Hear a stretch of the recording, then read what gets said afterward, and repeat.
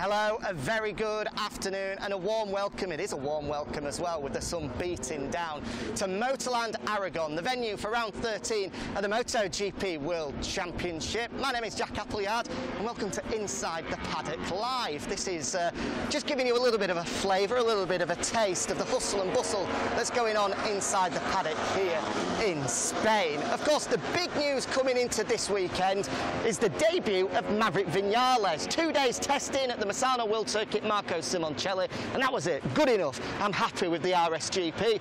A week later, here he is. He's just had his first taste of MotoGP action as well, so who better to speak to than his brand new crew chief, a name that might not be familiar to you guys at home for now, so hopefully we can bring a little bit more insight. Giovanni Mattarollo moved up from the test team, and hopefully we should grab him. Let me just go and have a word with old Zoccarato, the Aprilia press officer.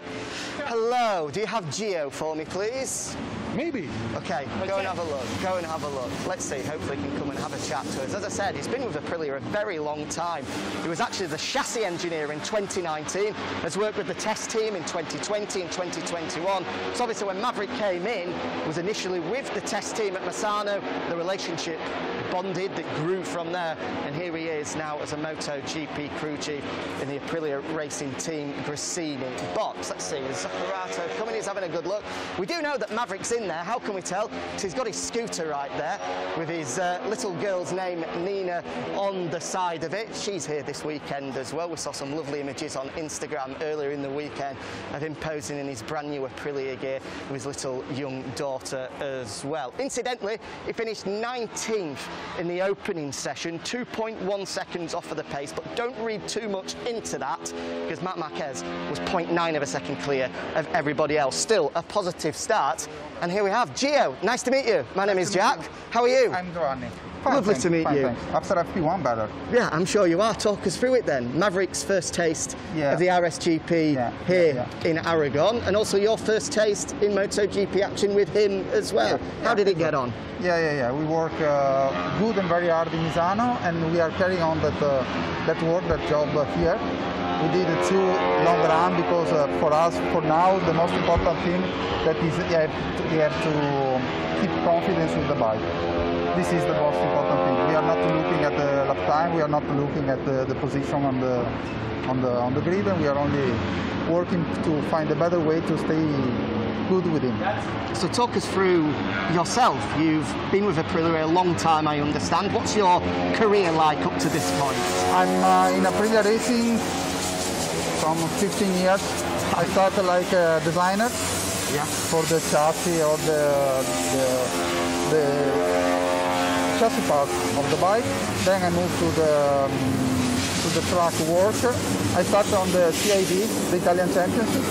I moved to the European Championship, then to the Superbike Championship, and then I to the MotoGP in 2017. That's a, a proper career path. You've gone through Super Stocks, European. see everything. I know, it's great to see. Uh, Maverick, of course, we've already seen on the bike.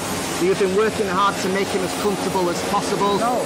No. Okay, we've seen that there's some modifications on the fuel tank, similar to what he had at Yamaha. Nothing at We all. prepared a uh, race bike. Okay. He sit on it and he say, okay, it's good. Wow. It. Do you need some adjustment for the lever? So no, no, no, it's okay, it's perfect. After the first day in Misano, we move a little the, the footrest, Right, okay. nothing more.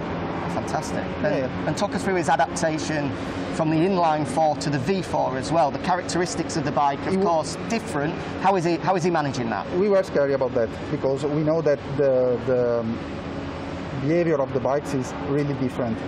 But uh, when he jump on the bike, uh, he comes in uh, after the first run, he was smiling and we understand that maybe the work was uh, less hard than uh, what we expected.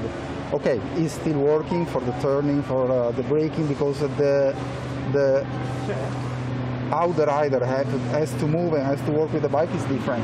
But he's understanding very fast. And we hope that this is the way, is, this is the, the, the starting uh, method. I'm, I'm. Just finally, before we let you go, What are the expectations this weekend? 2.1 seconds off in free practice one. Where do you hope he is by race I day? say nothing. I say nothing. Well, good luck anyway. Lovely to meet you. Thank you And give much. Maverick our best as well. Okay. Thank you very much. Bye. What a lovely guy. That's Gio then. Nice for you guys to meet and a little bit about his career path and history as well. He's really risen through the ranks, hasn't he? Fantastic to hear. Clearly a super intelligent guy as well. And you can understand why the relationship has formed as quickly as it has with him and Maverick. He seems a, a fairly uh, charismatic guy. And, and Maverick is similar as well, of course. You know, it, it's very difficult to comment on what has happened with Maverick this year. It's totally unprecedented. And, you know, what he's done, he's even admitted, wasn't right. But, you know, that's not his character. From interviewing him, from speaking to him, away from the camera, he's such a nice guy. Nobody really has a, a bad word to say about him. So it does come as a surprise when he, he did the thing that he did back in Austria. But hopefully, I'm sure you guys at home, like me and everyone here, wish that it's a, a clean slate for him and his new relationship, his new partnership with Aprilia is going to be a positive one. Right, I reckon we're going to walk down in this direction because right at the end of pit lane, hopefully, if I stretch my legs, we'll get there in time, is the Petronas Yamaha SRT Hospitality. Now, I don't know if he's going to be there. I'm just kind of hoping that he is. But we do know that Andrea Dovizioso is in the building somewhere. Obviously, if you're not aware, extremely likely. We heard from Lin Jarvis at Silverstone that the, the deal is almost done, 99% there, that he will be jumping into the Petronas Yamaha SRT squad for the remainder of this season and then likely in 2021 as well, with Franco Morbidelli moving up into the Monster Energy Yamaha box as well. On that, we did hear actually this morning from Valentino Rossi that maybe Morbidelli's surgery is a little bit more complicated than we first expected. Obviously, it was a, a, a big, big surgery on a, a ligament damage within his knee, so hopefully he can be fit and firing for Misano in one week's time. That's the plan anyway. Dovi is expected to be there, so if we can get a glimpse at him, maybe grab a word, I'm not sure.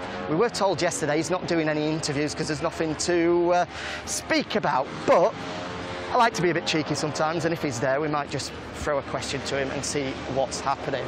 So, as you can see, team boxes behind me. Who we got coming up here? KTM.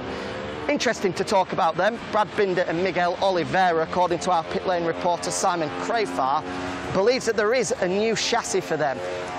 We don't know for certain yet. Simon just, obviously, if he says it, he believes it is, and you're a brave man to doubt him. We will be asking both of those guys later to see whether it is a brand new chassis. Because it's been a bit of a mixed bag, really, for KTM. You know, the Oliveira and, and obviously Binder as well with that race in Austria have had some real moments of brilliance so far this year, but ever since that crash for Miguel in Austria, he's not being himself and he was struggling this morning as well. So hopefully that small tweak will be enough to see the KTM boys back challenging at the front. Right, Petronas Yamaha is over your shoulder to our cameraman and there doesn't look like there's many people there.